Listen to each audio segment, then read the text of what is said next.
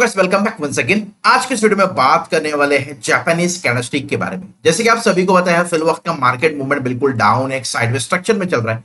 तो मैं ये सोचा हूँ कि क्यों ना आपके टाइम को इंपॉर्टेंट दिया जाए और इस बियर इस करेक्शन के टाइम पर हम मार्केट में कुछ ना कुछ सीखने की कोशिश करें। इसलिए मैं सीरीज़ स्टार्ट करूँ, जहाँ पर हम देखने वाले हैं जापानीज कैंडलस्टिक क्या होता है डिटेल में जाने की कोशिश करेंगे। और समझने की कोशिश करेंगे कि एक्चुअल में टेक्निकल एनालिसिस के अंदर कितना ज़्यादा यूजफुल जापानीज कैंडलस्टिक होता है। तो वीडियो को आप एंड तक ज़रूर देखो। वीडियो बहुत ज़्यादा इंपॉर्टेंट है। बहुत कुछ आपको न्यूज़ सीखने को मिलेगा जापानीज कैंडलस्टिक के बारे में। और डिटेल में अगर आप देखो मेन ये पहला पार्ट है। अगर आप इसके ऊपर मल्टीपल पार्ट चाहते हो तो भाई आपको कमेंट बॉक्स में कमेंट करके बताना होगा। अगर अभी तक आपने टेलीग्राम चैनल को ज्वाइन नहीं किया है तो नीचे डिस्क्रिप्शन में लिंक अवेलेबल है डिस्क्रिप्शन कमेंट बॉक्स के अंदर। तो वहाँ पर जाकर आप इंस्टेंट ज्वाइन कर सकते हो।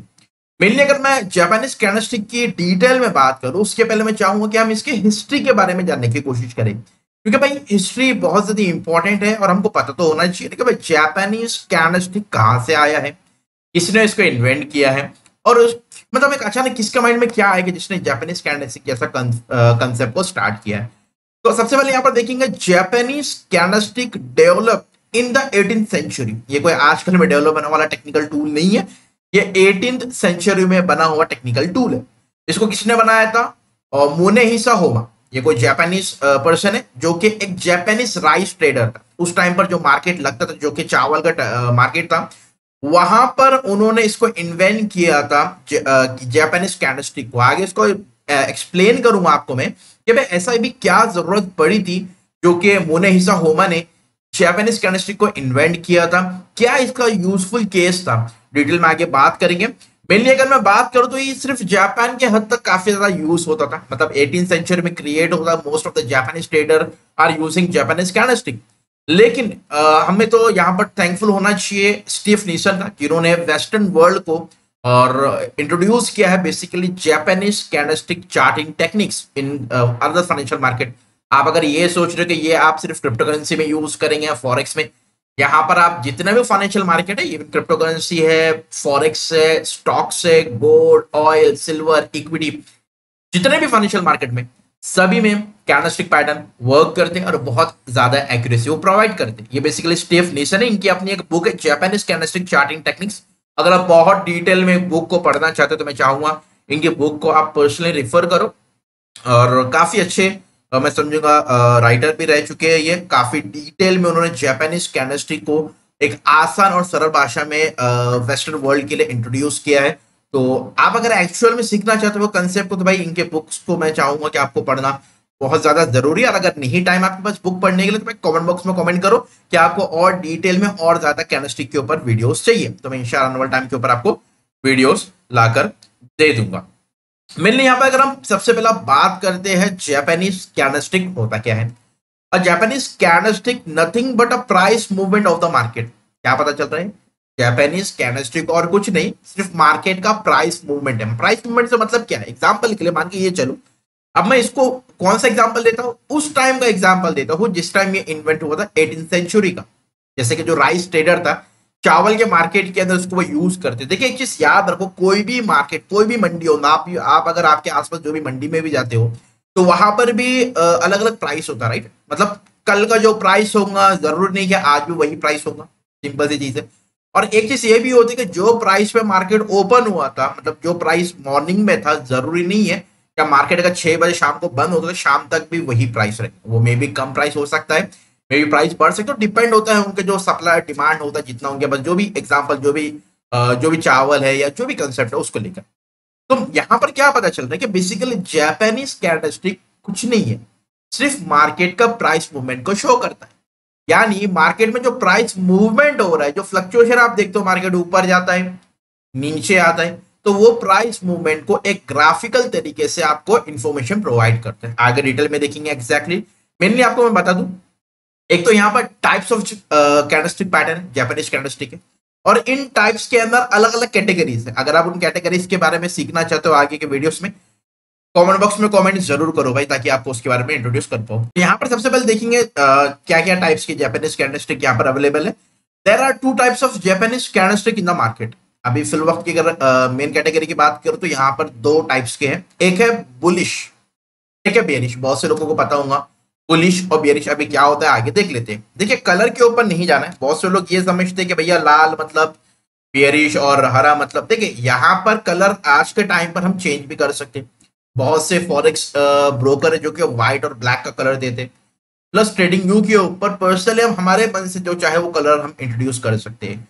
तो बेसिकली कलर डजेंट मैटर पहले भी बोला हूँ कि कलर का ज़्यादा खेलने मेन आपको इनका ओपन और क्लोजिंग प्राइस देख रहे हैं। क्यों ज़्यादा लोग इस पर फोकस करते हैं? यहाँ पर डिटेल में अगर मैं बात करूँ क्यों लोगों को कैनस्टिक पसंद है, उसके ऊपर अगर मैं बात करूँ, क्योंकि यहाँ पर अगर हम देखेंगे तो कैंडलस्टिक अपने आप में बहुत डिटेल में इंफॉर्मेशन हमको प्रोवाइड करती है। एग्ज़ाम्पल के लिए, यहाँ पर अगर आप देखेंगे तो एक साइड आपको ग्रीन कैंडल दिख रहा है, एक साइड आपको रेड कैंडल दिख रहा है।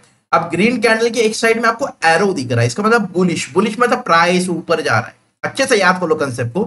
बुलिश मतलब प्राइस ऊपर जा रहा है बेरिश मतलब प्राइस नीचे जा रहा है। इस चीज़ को हमेशा याद रखना है। क्योंकि ये बहुत इंपॉर्टेंट है आनुअल टाइम के जैसे जैसे जैसे हम कैंडलस्टिक को सीखेंगे ना तो आपको ये चीज़ बहुत ज़्यादा यूज़ केस बनने वाली। तो यहाँ पर क्या है, पहले सबसे पहले आप बुलिश कैंडल का देख लेते हैं राइट यहाँ पर अगर आप देखेंगे तो ये बुलिश कैंडल है सेम ऐसा ही कैंडल बनता है, क्योंकि बहुत से लोग क्रिप्टो करेंसी में न्यू है बिटकॉइन का चार्ट हम सभी ने देखा है, जहाँ पर हरी और लाल कैंडल हमको देखने को मिलती है।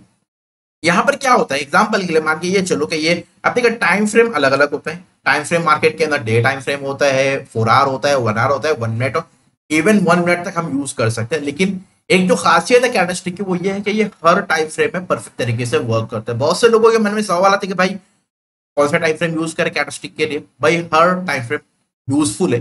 वो डिपेंड है क्या आप किस टाइप के ट्रेडर हो। मतलब आप स्विंग ट्रेडिंग पे बिलीव करते हो डे ट्रेडिंग पे करते हो स्कैल्पिंग करते हो लॉन्ग टर्म पोजिशन ट्रेडिंग पे करते हो, वो आपके ऊपर डिपेंड है। तो यहाँ पर सभी के सभी टाइम फ्रेम यूजफुल है और सभी का सभी का अपना अपना एक यूज़ केस बनता है। मेनली अगर मैं यहाँ पर बात करूँ तो भाई बुलिश कैंडलस्टिक में अगर आप देखेंगे तो यहाँ पर जो आपको दिख रहा है, यहाँ पर ओपन प्राइस देखिए, एक चीज़ याद रखिए, एक कैंडलस्टिक में चार इन्फॉर्मेशन मिलती है। एक तो आपको ओपन प्राइस के, भाई, कौन से प्राइस पे मार्केट ओपन एग्ज़ाम्पल के लिए अगर वही राइस ट्रेडर की बात करूँ तो चावल का जो मार्केट था, वो यहाँ पर वो क्या लिखते थे? बेसिकली भाई कौन सा टाइम मतलब कितने प्राइस पर मॉर्निंग में जब मार्केट ओपन हुआ तो उसका प्राइस कितना था? एग्ज़ाम्पल के लिए एग्जामेशन करते कि भैया दस डॉलर एग्ज़ाम्पल ले रहा हूँ मैं, ठीक है? तो यहाँ पर एग्ज़ाम्पल क्या हो दस डॉलर मतलब दस डॉलर पर ओपनिंग प्राइस हमारा बना था। अब यहाँ पर क्या होता है कि ज़रूरी नहीं है क्या मार्केट जहाँ पर ओपन रहेगा, वहाँ से ही सीधा अब जाएगा। कभी नहीं। मार्केट फ्लक्चुएशन करता है। उसके बाद क्या हुआ? मार्केट ने लो क्रिएट किया। कितने का लो था? एग्ज़ाम्पल के लिए आठ डॉलर का, ठीक है? मतलब दस डॉलर का यहाँ पर ओपन प्राइस हुआ, आठ डॉलर का यहाँ पर लो प्राइस बनाया। उसके बाद क्या हुआ? मार्केट ड्यूरिंग द सेशन मतलब सुबह नौ बजे से मार्केट मंडी ओपन हुई थी छह बजे क्लोज होती है, नौ बजे ओपन हुई थी, कितना प्राइस था? दस डॉलर का। और मार्केट के दौरान, मंडी के दौरान कितना प्राइस लो गया था? एग्ज़ाम्पल के लिए मान के ये चलो गए आठ डॉलर का। फिर क्या हुआ? है उसके बाद क्या हुआ? मार्केट एट द हाई मतलब ड्यूरिंग द रनिंग मार्केट क्या हुआ? मार्केट का प्राइस कितना चार्ज होगा था? एग्ज़ाम्पल के लिए बीस डॉलर एजम्पन दे रहा हूँ, इतना प्राइस बढ़ते नहीं एक्जेक्टली बट समझने के लिए। मतलब यहाँ पर क्या पता चल रहा है कि भाई मार्केट सुबह नौ बजे अगर ओपन हुआ था मंडी का तो वहाँ पर प्राइस कितना था? दस डॉलर का और ड्यूरिंग दैट सेशन मार्केट ने लो बनाया था आठ डॉलर का। और ड्यूरिंग दैट सेशन मार्केट ने एक हाई प्राइस क्रिएट किया था बीस डॉलर का। लेकिन जब छह बजे मार्केट बंद हुआ, उस टाइम कितना प्राइस बना था? एग्ज़ाम्पल के लिए पंद्रह डॉलर तो बेसिकली यहाँ पे क्या पता चल रहा है कि जो पिछला ओपनिंग प्राइस था मार्केट उसके अबव जाके क्लोज कर रहा है। दोबारा रिपीट कर रहा हूँ। अच्छे से दिमाग में बिठा लो स्लोली बोल रहा हूँ। बहुत से लोग बोलते हैं, भाई, बहुत फास्ट बोलते हो। स्लो तरीके से समझा रहा हूँ। जहाँ पे मार्केट ओपन हुआ था, उसके अबव जाके मार्केट अगर क्लोज करता है ड्यूरिंग द सेशन जो भी टाइम फ्रेम आप यूज़ कर रहे हो, उसको बेसिकली कहेंगे बुलिश कैंडलस्टिक यहाँ पर हरा हरा, लाल, पीला, काला उधर नीला, उससे लेना देना नहीं है। यहाँ पर ओपनिंग प्राइस क्या है? क्लोजिंग प्राइस क्या है? क्या बता रहा हूँ? जो ओपनिंग प्राइस है, अगर मार्केट उसके अबव जाके क्लोज होता है तो उसको कहेंगे बुलिश कैंडल सिंपल है इजी है, आसान तरीके से समझा रहा हूँ. उसी का अपोजिट क्या बनता है? देखिए सिंपल है.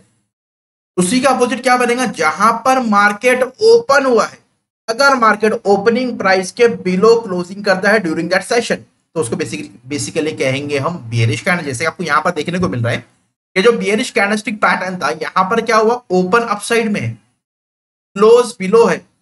हाई बिल्कुल सेम है और लो भी बिल्कुल सेम है। यहाँ पर आपको देखिए लिखा हुआ भी है बुलिश कैंडलस्टिक इंक्रीजिंग इंक्रीजिंग मतलब बढ़ रहा है, चढ़ रहा है, तेज़ी आ रही है। डिक्रीजिंग डिक्रीजिंग मतलब गिर रहा है डाउन जा रहा है मार्केट में गिरावट आ रही है। राइट ये बेसिकली आसान तरीके से आपको मैं समझाया हूँ। नहीं समझ में आए, वीडियो को दोबारा रिवाइंड करो। स्पेशली जो न्यूबीस है, उनके लिए मैं इतना डिटेल में लेके जा रहा हूँ, वरना जो ऑलरेडी मार्केट में है, उनको तो काफ़ी अच्छे से ये पता ही है। तो मेनली क्या है यहाँ पर? कि भाई यहाँ पर इस मार्केट के अंदर कैंडलस्टिक के बेस के ऊपर हमको चार इंफॉर्मेशन प्रोवाइड होती है। कौन सी कौन सी ओपन लो हाई ये चार इंफॉर्मेशन हमको मार्केट को समझने के लिए मार्केट को प्रिडिक्ट करने के लिए मार्केट का डायरेक्शन जानने के लिए बहुत ज़्यादा यूजफुल बनती है। इसके ऊपर आगे डिटेल में वीडियोस में बनाऊँगा। और अभी हम लाइव डायरेक्टली ट्रेडिंग व्यू पे जाकर देखते हैं कैसे कैंडलस्टिक दिखते हैं। यहाँ पर हम आ चुके हैं बेसिकली चार्ट के ऊपर ट्रेडिंग व्यू के ऊपर। यहाँ पर आपको चार्ट दिख रहा है राइट क्या बोला? यहाँ पर हमने कलर दिया। हम चाहे तो इस कलर को चेंज भी कर सकते हैं। राइट क्लिक करके सेटिंग में जाकर आप यहाँ पर सिंबल में जाकर आपकी मर्ज़ी, जो कलर आपको देना है भाई, वो कलर यहाँ पर आप देख सकते हो। जैसे कि मैं क्या कर रहा हूँ बुलिश को क्या कर रहा हूँ येलो कलर दे देता हूँ, ठीक है? यहाँ पर बुलिश को येलो कलर हो गया राइट है ये देखो। इसलिए बोलो हरा लाल पे इस पे माइंड में रखना है। ओपनिंग और क्लोजिंग दैट्स अ मैटर अब यहाँ पर अगर हम देखेंगे, मैंने कलर चेंज किया हो, यहाँ पर क्या हुआ है? ये मार्केट नीचे आ रहा है रेड कैंडल है, नीचे आ रहा है तो इसको ओपन कहाँ पर था अप साइड में। हाई अप साइड में। लो यहाँ पर और क्लोज यहाँ पर। तो ये बियरिश मतलब प्राइस नीचे गिर रहा है, नीचे जा रहा है, नीचे डाउनफॉल हो रहा है। होपफुली यहाँ पर आपको समझ में आ रहे हैं। और यहाँ पर अगर आप देखेंगे तो बेसिकली यहाँ पर आपको आइडिया मिलेगा कि यहाँ से मार्केट अप साइड में जा रहा है। क्यों? क्योंकि अगर आप इस कैंडलस्टिक को देखेंगे तो देखिए यहाँ पर बियरिश कैंडल बना था। उसके बाद यहाँ पर आपका ये कैंडल क्लोज हुआ बियरिश का यहाँ पर। इसने ओपन किया। ओपन करने के बाद इसने लो प्राइस क्रिएट किया। फिर मार्केट हाई पर गया। और ड्यूरिंग द सेशन ये वन डे का चार्ट हम यूज़ कर रहे ड्यूरिंग द सेशन मार्केट ने यहाँ पर क्लोजिंग किया। इसको कहते हैं कैनस्टिक इंपॉर्टेंट कंसेप्ट है, आसान भाषा में समझा दिया। और होपफुली आपको समझ में भी आया होगा। नहीं समझ में आया तो कमेंट बॉक्स ओपन है। कमेंट बॉक्स में कमेंट करो। नेक्स्ट सेशन में उसको कवर अप करने की कोशिश करूँगा। और अगर आप कैनस्टिक के ऊपर डिजिटल ये तो मैं एक बेसिक इंट्रोडक्शन था कैनस्टिक के ऊपर। अगर आप डिटेल में वीडियोस चाहते हो, क्योंकि एक सब कैटेगरी है इसके अंदर, जहाँ पर आपको आठ से नौ टाइप्स की कैंडलस्टिक है जिसके बेस पर आप एंट्री लेते स्टॉप लॉस देते टेक प्रॉफिट डिटरमाइन करते। अगर आप उसके ऊपर वीडियो चाहते तो भाई कॉमेंट बॉक्स ओपन है। कॉमेंट बॉक्स में कॉमेंट ज़रूर कीजिए। और एक सवाल मैं आपके लिए छोड़ना चाहूँगा क्या बेसिकली जैपनीज कैंडलस्टिक कौन से सेंचुरी में इन्वेंट हुआ था, ये आपको बताना है। प्लस एक कैंडलस्टिक के अंदर हमको कितनी इंफॉर्मेशन मिलती है, कितने इंफॉर्मेशन एक कैंडलस्टिक प्रोवाइड करती है, ये आपको कमेंट बॉक्स में कमेंट करके ज़रूर बताना है, क्योंकि वीडियो मैंने बहुत आसानी से समझाया हो। तो मैं चाहूँगा कि मुझे तो पता चले ना कि भाई कितने लोगों को माइंड में बैठ रही है बात। तो भाई कमेंट बॉक्स ओपन है कमेंट बॉक्स में आपके सवाल का जवाब दीजिए ताकि नेक्स्ट सेशन में मैं जो भी मिस्टेक रहेगा तो उसको सही तय और करेक्ट कर पाऊँ। होपफुली आपको वीडियो प्रॉपरली समझ में आ चुका है, फिर भी कोई डाउट है तो आप कमेंट बॉक्स में कमेंट कर सकते हो। फ़िलहाल वक्त में वीडियो में इतना ही। Thank you so much